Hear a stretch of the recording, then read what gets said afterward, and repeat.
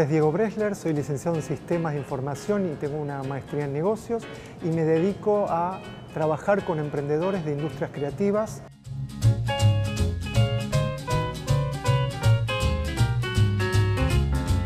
Mi nombre es Néstor Flores, soy licenciado en marketing y soy director de cuentas de Caja Negra Comunicación Creativa, una agencia que nació como emprendimiento incubado dentro de una de las incubadoras de la Universidad Nacional del Litoral.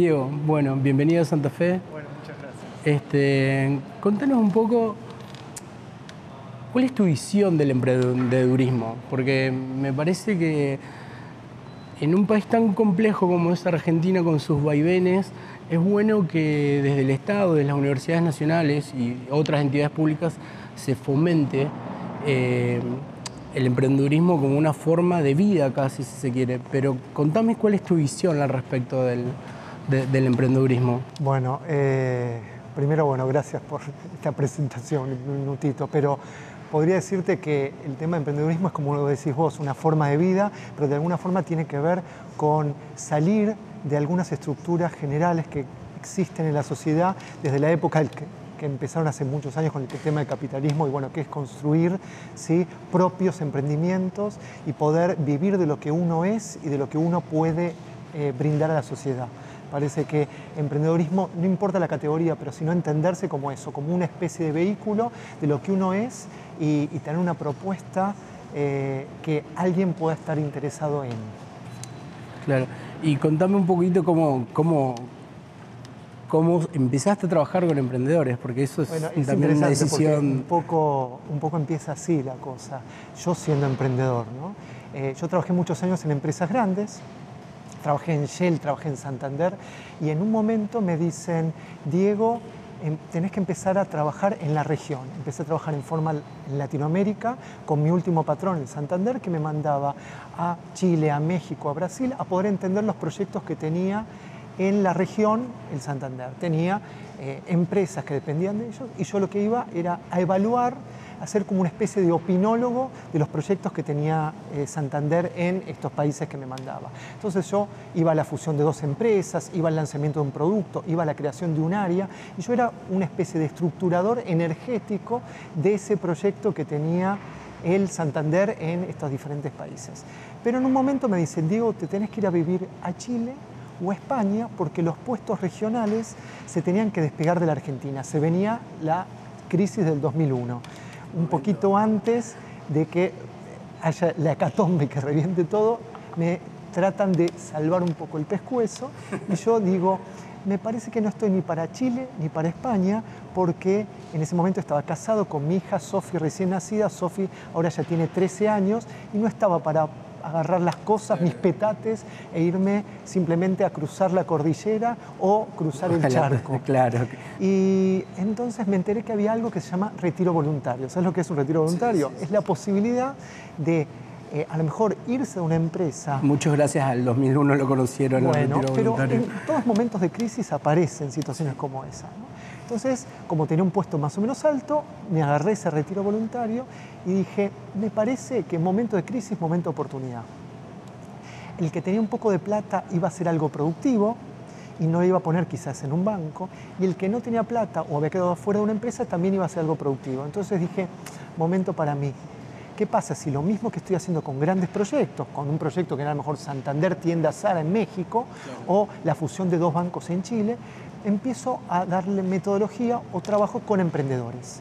Entonces empecé con los primeros emprendimientos 2001-2002, después de dedicarme un par de meses a armar una metodología para trabajar con emprendedores.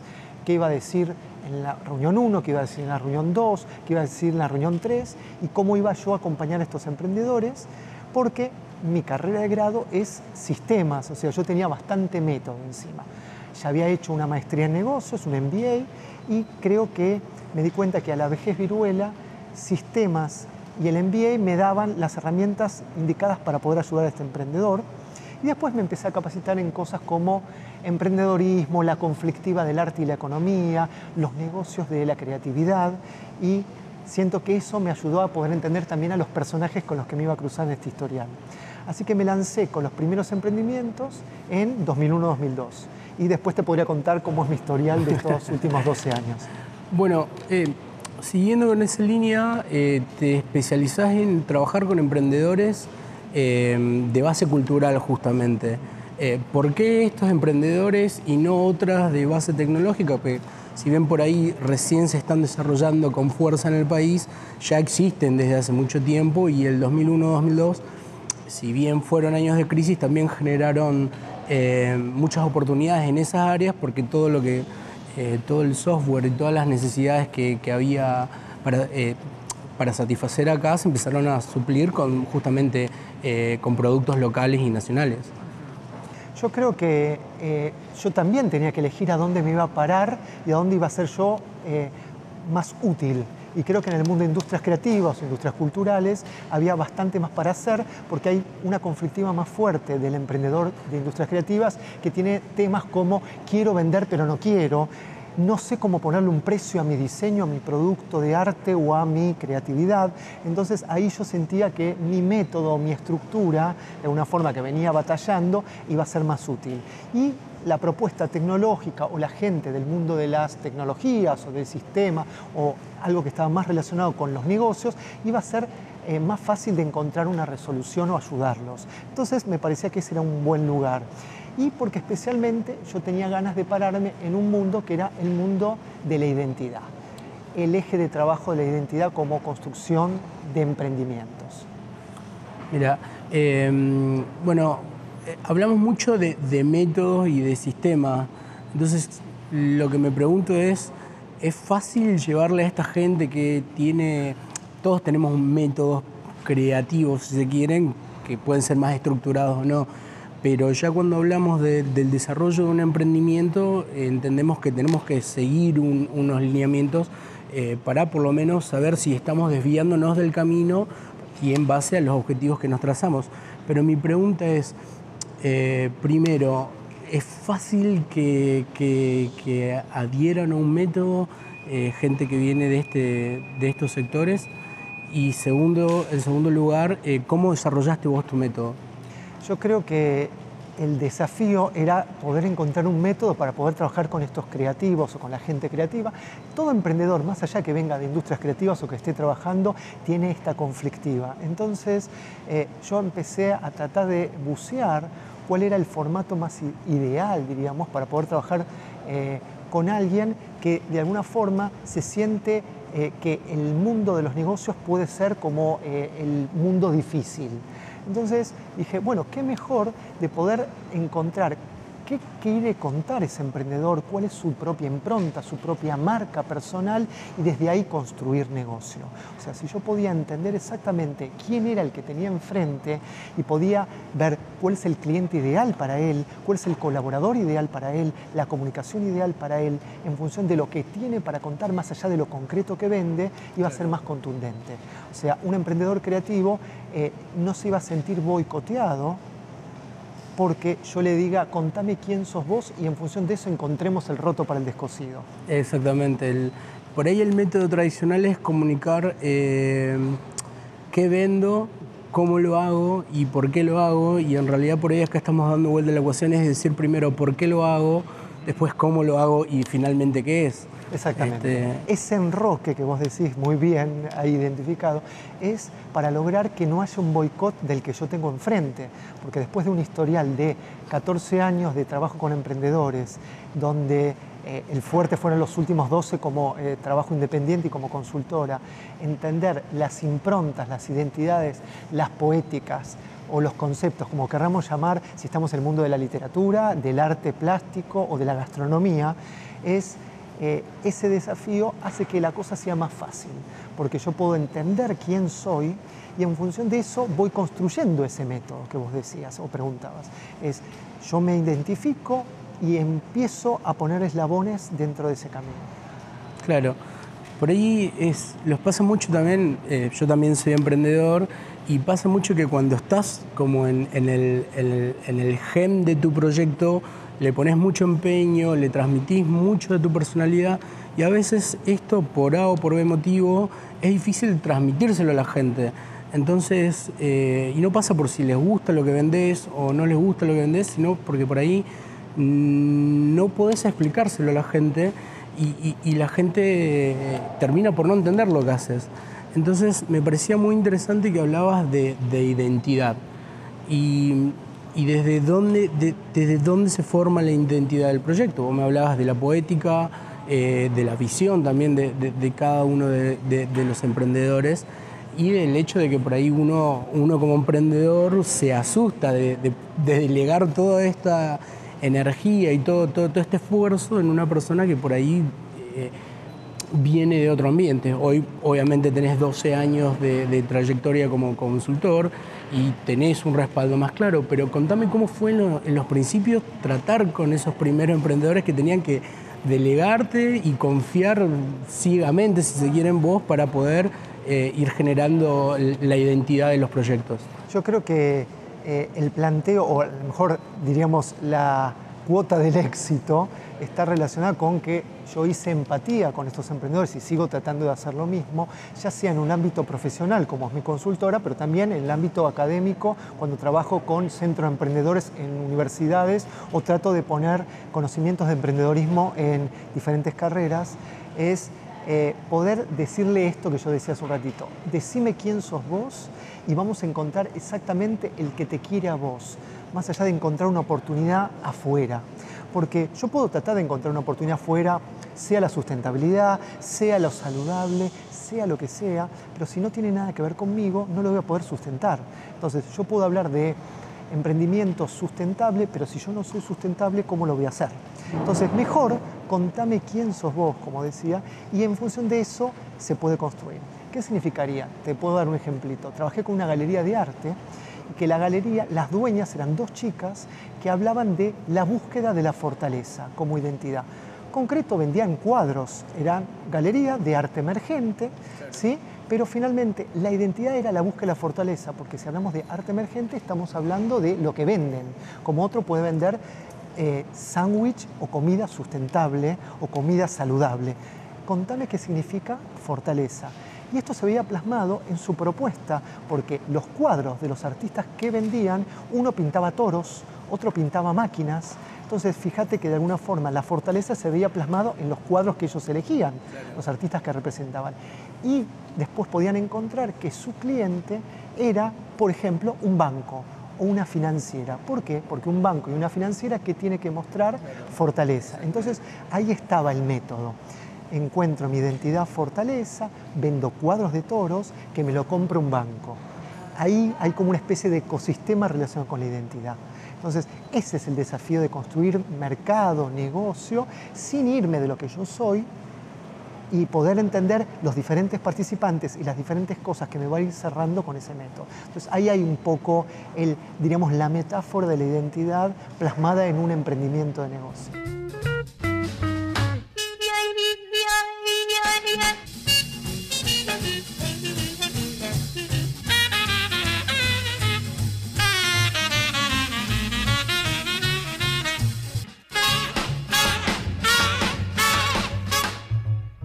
Me parece importante fomentar eh, las incubadoras y el emprendedurismo como filosofía, ya que nos eh, ayuda a la gente a desarrollarse no solo económicamente, sino también desde el punto de vista eh, social y personal.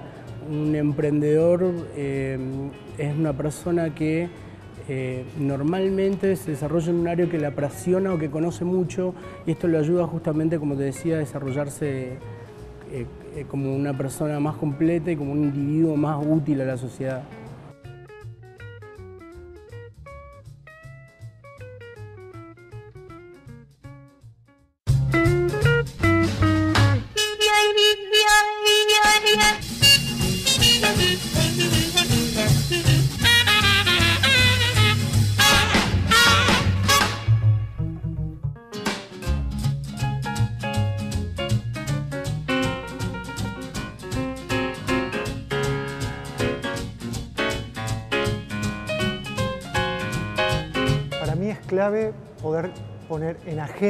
Temas relacionados con emprendedorismo, especialmente construcción de identidad para construir emprendimientos, porque es la forma de subsistencia para muchas partes de la sociedad y en paralelo, porque bueno, es una forma de integrar y generar vínculos con otros que estén en el mismo nivel. Como vengo de la publicidad, también trabajo mucho con el tema de identidad. Eh, a la hora de crear comunicación es importante que primero que nada la marca tenga una identidad y que la marca sea el reflejo, obviamente, de la filosofía y las creencias de, de la empresa o en este caso del emprendedor. Yendo a lo concreto de, tus métodos, ¿hay alguna herramienta, eh, hay algunas herramientas formales que hayas modificado para tu uso personal o, usas herramientas, digamos, eh, académicas que, eh, existentes? ¿Cuál, cuál, ¿Cuál es tu método puntual, digamos? si es que hay uno eh, que uses para analizar justamente las personalidades eh, de, los emprendedores. Hay un tema de, después de, como decíamos, 12 años de trabajo con emprendedores formales, donde cada mes empieza otro emprendimiento, donde tengo que empezar desde la identidad, porque se me dice, voy a poner una galería de arte, voy a poner un estudio de arquitectura, no me alcanza. Eh, ya tengo como una especie de estar canchero el ojo para poder descubrir este tema de identidad es más allá de lo que me estén diciendo. Eh, pero sé que utilizo elementos de método sistémico, psicología organizacional, un poco de cuestiones filosóficas relacionadas con marca, eh, y conceptualización de, digamos, de ideas y un poco de creatividad. Es como una especie de mixtura de todo eso para poder construir. ¿no? Pero siento que eh, le reclamo mucho a ese emprendedor o a esa nueva pyme o a ese futuro empresario en que trate de reflexionar sobre uno mismo, quién es, y pueda hacer introspección, si es necesario, trabajo terapéutico para poder encontrarse, porque no nos alcanza a decir, como decíamos, conceptos obvios como calidad, innovación, eh, valor agregado, cuando en realidad eso es lo obvio que uno tiene que tener como emprendedor o como empresario. ¿sí? Entonces, eh, se utilizan todas estas herramientas, pero eh, mucho de pedirle autorreflexión al otro y uno mismo también para poder ayudarlo. Sí, es, trata, me imagino que trata un poco sacarle la realidad al cliente que, que muchas veces ni siquiera eh, se anima a confesar, porque por ahí este, uno le pone tanto esfuerzo a lo que cree que es importante, que es el producto, y se olvida por ahí de que, que si no es honesto con lo que quiere, los valores que, que quiere transmitir, la comunicación o la identidad que se está buscando eh, va a carecer de sustento. Es imposible, como decías, hablar de, de eh, sostenibilidad este, y ser una empresa contaminante. No, no, no, Totalmente. No lleva ningún sentido y, la misma gente tarde o temprano se va a apropiar de la verdad de la marca. Inclusive creo que hasta ahorra plata pensarse en ser genuino porque después vienen todos los comunicadores, las personas que plasman ese producto, esa identidad y esa, esa relación con el mercado a través de página web, prensa, campañas de comunicación, eh, espacio arquitectónico, asesor de imagen, que son las diferentes herramientas de comunicación de gente que estudia cinco años comunicación para poder entender eso. Y si yo le voy y le digo, mi identidad es búsqueda de fortaleza, como este ejemplo de la galería, vamos a encontrar un montón de cosas que vamos a poder ahorrarnos en el trabajo muchas veces fracasan los proyectos desde la comunicación porque el profesional de la comunicación utiliza el discurso obvio. Por ejemplo, si esta es una galería de arte, ¿por qué no la hago toda blanca, impecable? Pero pará, si estamos hablando acá de fortaleza, entonces a lo mejor no es blanca impecable. Uy, entonces yo la hice toda blanca impecable porque pensaba que tenía que ser blanca para que se destaque la obra que voy a exponer. Pará, si vos estás hablando de fortaleza, a lo mejor tendría que ser, ¿cómo sería? Ladrillo a la vista, metálica, roja. Entonces hay algo que también ayuda a entenderlo. E inclusive esa página web o ese espacio de asesoría de imagen de esas galeristas también podría estar diciendo algo en función de esa identidad. Entonces es como eh, completa la mirada de ese emprendimiento o de esa pyme, poder entenderse de identidad y me da también la idea de crecimiento. ¿Qué podría estar haciendo yo si dejo de ser una galería, pero sigo siendo alguien que apuesta a ayudar a fortalecer algo. ¿sí? Entonces, eh, es muy interesante poder preguntarse por esa galería qué está haciendo ahora, cuando ya pasaron un par de añitos de montar esa galería, si siguen siendo búsqueda de fortaleza. Hay ejemplos muy grandes o sea, de empresas que tienen una identidad muy clara y que vos podés entender no solo por lo que está haciendo, sino eh, por esa identidad lo que podría estar haciendo en el futuro y a lo mejor no tiene nada que ver con el negocio original. Claro, sí, por ahí tiene que ver con el, el, negocio es, eh, a partir de la identidad obviamente, es vender soluciones para este tipo de personas y no necesariamente un producto terminado. Entonces eso te abre un paraguas y también te hace más permeable a los cambios de, de la modernidad misma, que hoy es la, se habla mucho de la modernidad líquida, de cambios constantes, de, de realidades totalmente eh, transformadas de un momento a otro. Entonces vos como emprendedor tenés que estar también preparado para eh, poder eh, adaptarte a esa situación o inclusive, que sería lo ideal, poder anticiparlas, ya que este, adaptarse requiere un esfuerzo más complejo que anticiparse obviamente. O sea, no es lo mismo salir con el paraguas que tratar de conseguir uno cuando ya está lloviendo. Claro, y de hecho, si uno es genuino, te sale muchísimo más fácil eso. Ahora, hay cosas que no te puedes ahorrar. Siendo emprendedor, siendo pyme, hay que vender, hay que comunicar, hay que administrar, hay que legalmente estar cubierto, contablemente. Pero si todo esto tiene que ver con esa identidad, estamos bien. ¿sí? Esos colaboradores piensan en quién soy yo en esos caminos en este ejemplo que yo te decía de una empresa grande que empieza por algo determinado y puede seguir creciendo en función de la identidad, eh, hay un caso que es muy interesante, mejor no puedo decir una marca, pero es a nivel internacional, que hablaba de ayudar a construir niños a través de bloquecitos y jueguitos, pero el primer escenario es vender bloquecitos para niños, pero no siguen para ir al mundo de las niñas, ya que ellos quieren ayudar a construir, su segundo negocio es una constructora y el tercero es una consultora, donde ellos finalmente, con los bloquecitos, con la consultora, con la constructora, están ayudando a construir. Entonces, seguimos hablando de ayudar a construir más allá de lo concreto que estamos haciendo. ¿sí? Entonces, creo que ese es el desafío, poder entenderse y no perder, eh, muriendo en el intento, si uno es genuino, puede construir más fácil e inclusive entender que todas estas cosas, como decimos, vender, comunicar, administrar, bajo lo propio y sabiendo que emprender es hacer cosas y otras no, vamos a estar bárbaros. Sí, respecto a lo que, a lo que contás, me parece súper interesante porque mm, cuando a, la, misma altura de la gran crisis del 2001-2002, una muy conocida empresa de, computadoras a nivel mundial había lanzado un reproductor de música MP3 que básicamente cambió eh, las reglas del mercado y en el futuro sirvió como base para cambiar también eh, la telefonía. Y si vos te pones a pensar, antes de esta empresa, las, las otras grandes, los otros grandes jugadores del, del sector de tecnología y computación se dedicaban exclusivamente a hacer computadoras y no pensaban, digamos, en que, en que estaban vendiendo soluciones para hacer la vida de la gente más fácil, pensaban que estaban vendiendo un producto final.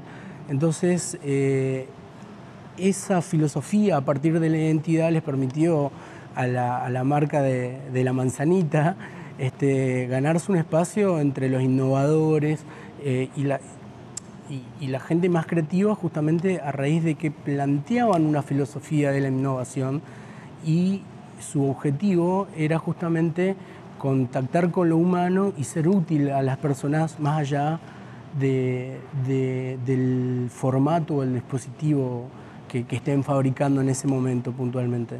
Entonces me parece genial poder construir la identidad de un proyecto eh, desde... Eh, o, definir la identidad del proyecto desde las creencias firmes de, los emprendedores. Ahí va a salir mucho mejor. Esto que vos decías de la tecnología, también hay empresas que gracias a una identidad sobrepusieron situaciones de mercado. Si una cámara de fotos ya no funciona como cámara de fotos porque uno puede sacar fotos hasta con un vaso, ¿sí? Eh, o desaparece la idea de rollo de fotos, entonces si una empresa se dedica al que ayudar a guardar recuerdos, podría ir a otros mundos en vez de ser cámara de fotos como una cuestión tecnológica como vender discos rígidos o pendrives, porque sigue ayudando a guardar recuerdos, ¿no? Exactamente. Entonces, un poco esa es idea. Una identidad es más generosa que el propio emprendimiento. Entonces, si uno se para en ese lugar como emprendedor, es el momento que tiene que decidirse, ¿y ahora para dónde voy? Podría preguntarse por mirándose en el ombligo quién es.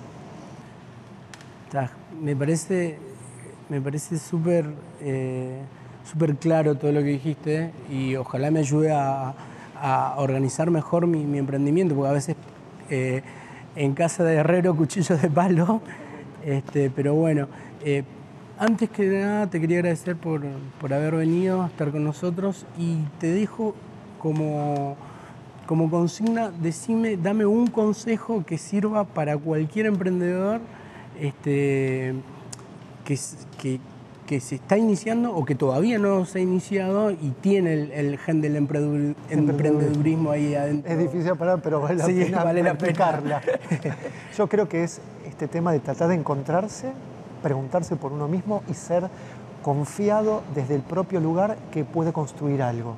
¿sí? Y después entender que hay cosas que puede hacer y otras que no, y las que no, que haga que otro las haga es preferible conseguir la plata para que alguien haga lo que uno no quiere o no puede, más que tratar de hacerlo uno mismo. Entonces, el desafío de ser uno mismo y aparte saber a dónde despojarse y con qué quedarse.